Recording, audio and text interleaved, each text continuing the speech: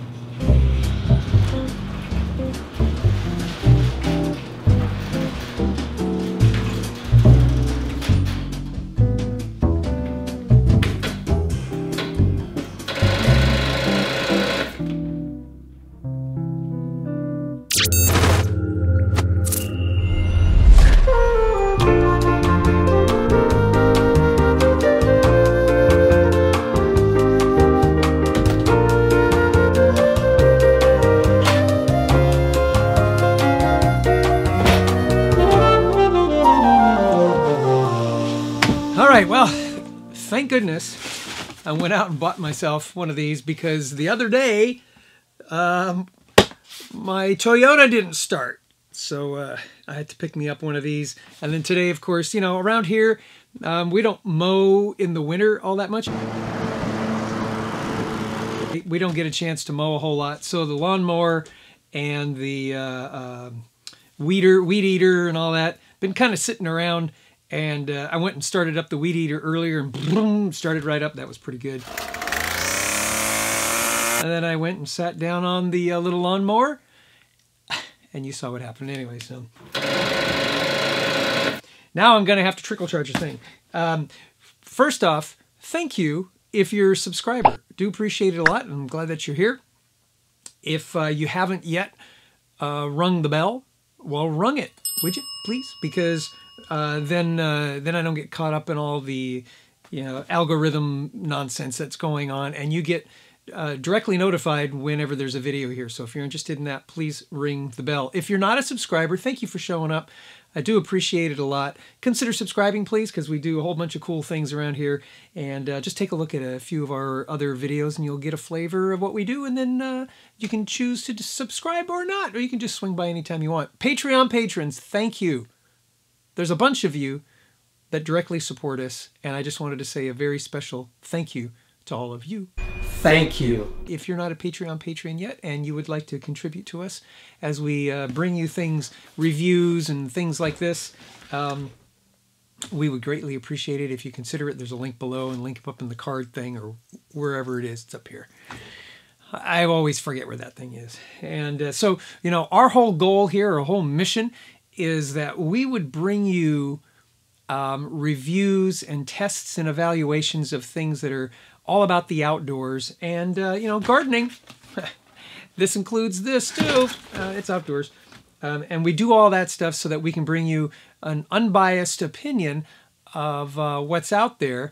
And chances are, if we've bought it, we've done all the research and we typically will like what we already have bought and we'll present it to you that way. Sometimes, though, things go a little sideways and we let you know. In any event, uh, we do all of that so that you don't have to. You uh, you spend your money on stuff just like everybody else, and it's kind of nice to be able to go to a place that has uh, you know, taken one for the team, as it were, and that's kind of what we do. We take one for the team and let you know what our experience is. So if you find that of value to you, become a Patreon patron. I, I would appreciate it a lot. All right.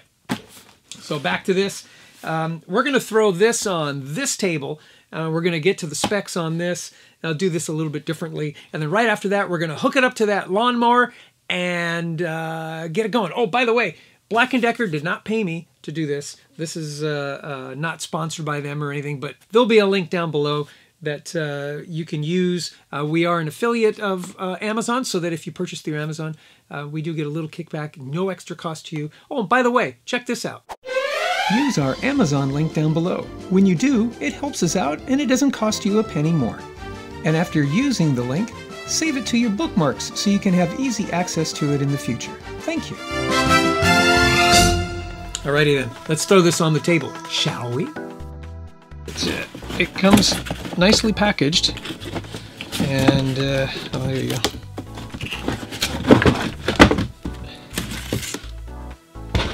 Here's that. Overall length, it's uh, about a foot.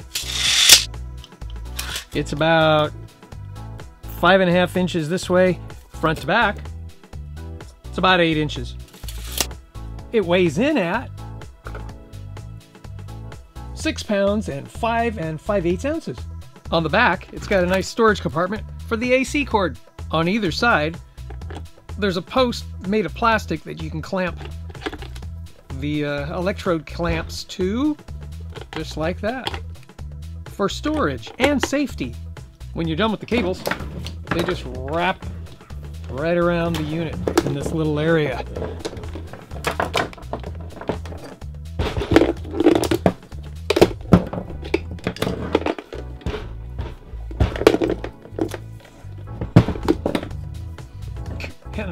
Go on right here. Oops. Didn't do a very good job there. There you go. The battery cables are about six feet in length. It's pretty good.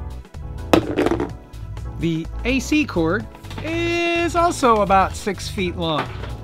Plenty long. It comes equipped with five modes.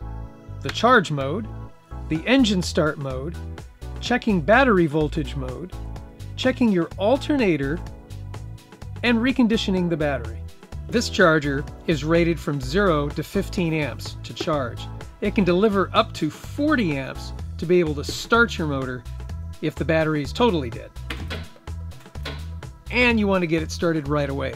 After you've charged your battery, it'll automatically go into what's called float mode to, as it's needed, trickle in some charge from time to time during the winter when you're not using your lawnmower, which is what I'm hoping this will be able to do. This thing can charge and maintain wet, gel, and AGM automotive or marine 12 volt batteries. 12 volt only. Now, just as a quick reminder to all of you, there is an instruction manual. Be sure you read the instructions before you do this. You might blow yourself up if you don't pay attention to what you're doing. All right, two things that I want to point out that are a bit of an annoyance about this unit. One, these flippy up feet, where they seem like a very great idea if you want to kick the thing up so it's in a better angle to see. Uh, they're easily, as you can see, uh, flipped down. So moving around, it, yeah, Black & Decker, you can probably fix that. Uh, the other thing is the charging cables that wrap around the back of the unit. Great idea, great for storage. And then there's this pocket back here where the power cord comes out. They come in conflict with each other when you're trying to wrap things up or unwrap things. It just makes a coiled up, uh, tangled up mess with all the cords. Uh, that could have been avoided as well. So let's get this thing charged up. Now, this is not an automotive application. This is a lawnmower application, and the instructions talk about how to use it in an automotive situation. So we're going to have to adapt as we go here, all right? One of the most unusual things is uh, the battery is underneath the seat, and the seat must be down in order to start the vehicle, which is not like a car. But that's okay. We're gonna uh, we're gonna work that problem out. Let's plug this thing in, shall we? Okay, beeps, lights are on.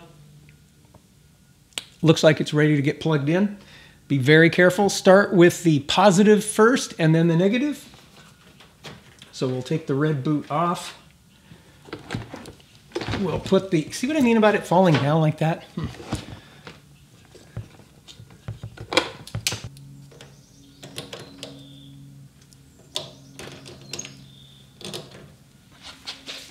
There you go. All right.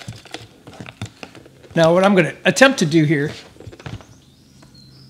is start this thing uh, with the engine start because I want to get this thing turned over and rolling around, not charge it because it would probably take a few hours. It does take a few hours to charge up that battery. So I'm going to press engine start and it gives you 90 seconds and it looks like it gave enough charge so that you can get this thing started. Uh, FLO means it's uh, in a mode where if the battery should dip below normal charge, it'll give it a little bit of a trickle. It's the float mode. It's in the instructions. I'm actually going to cover all this because I've got to sit this thing down.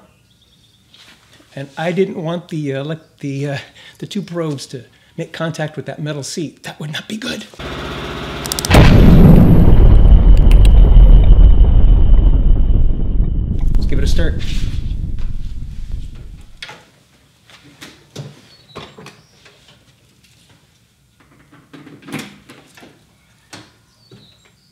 wish me luck, guys.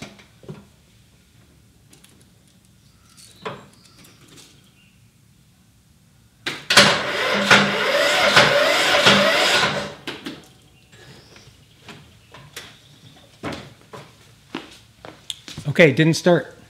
What happened here?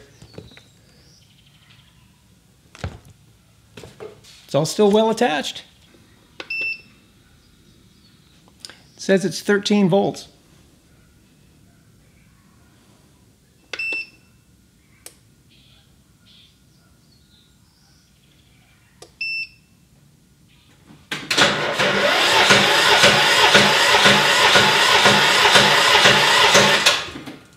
All righty.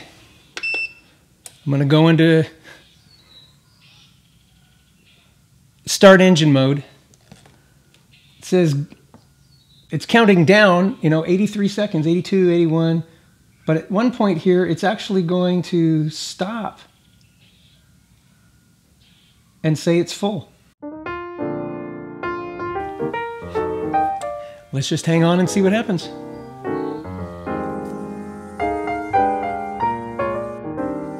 You know what they say about uh, watching grass grow and paint dry and water boiling?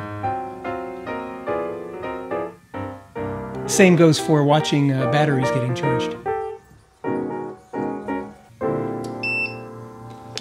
Okay, it says it's ready to go.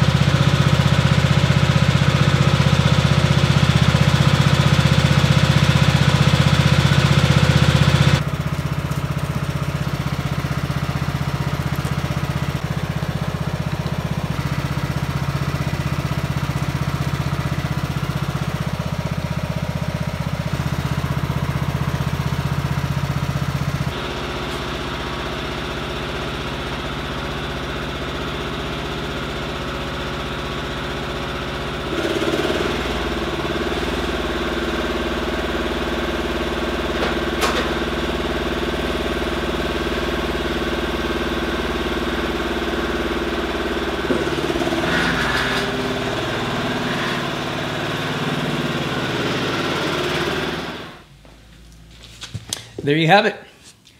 Uh, it started the lawnmower, which is the objective I had. Um, will I plug it in and charge this battery up? Yeah, I will. There's the other couple of functions that we talked about. One was reconditioning. I might do that one, uh, but certainly I'm going to plug this in, check the voltage, hit charge, and let it run. It says for about 24 hours, so I'll do that and uh, get this battery all charged up and reconditioned. It works, so I can give it a thumbs up, other than the two little quirks that I told you about before.